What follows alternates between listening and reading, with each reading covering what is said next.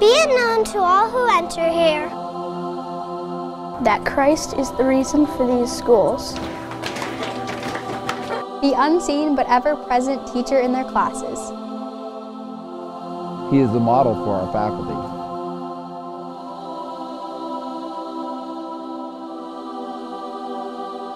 The inspiration of their students.